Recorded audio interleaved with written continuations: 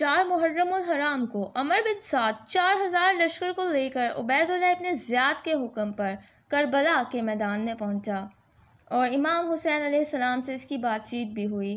اصل میں وہ دشمنوں کے ساتھ جنگ کے لیے ایران میں جا رہا تھا، مگر جب اس کو امام حسین علیہ السلام سے ملنے کا حکم ہوا اور اس نے اتنے زیاد سے ایک رات مشورہ کرنے کی مہلت مانگی تو وہ اپنے ساتھیوں سے مشورہ کر رہا تھا کہ کیا ہمیں امام حسین علیہ السلام سے جنگ کرنی چاہیے یا نہیں۔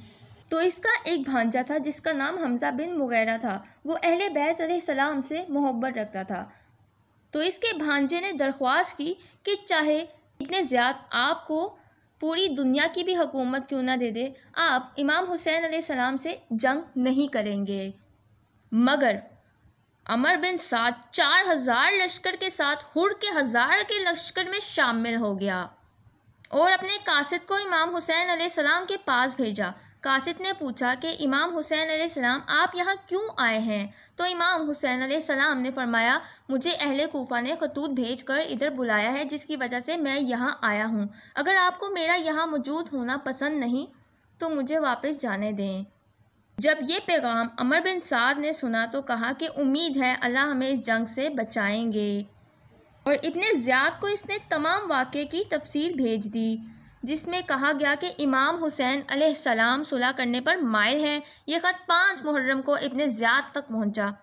اس نے یہ خط پڑھا تو اس کے درمیان موجود قاصد کرب بن کیس اور حسبان بن قائد یا یہ دونوں موجود تھے، جو کہنے لگے، شکار پنجرے میں آیا ہو اور ایسے ہی چلا جائے۔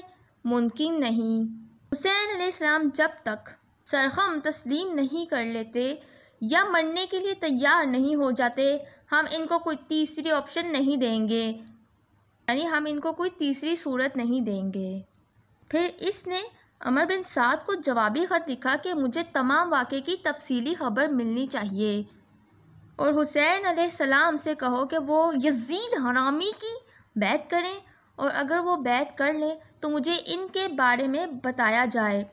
عمر بن سعد کو جب یہ خط ملا تو اس نے امام حسین علیہ السلام کو بتانا پسند نہیں کیا، کیونکہ وہ جانتا تھا کہ امام حسین علیہ السلام کبھی بھی اس حرامی یزید کی بیت نہیں کریں گے۔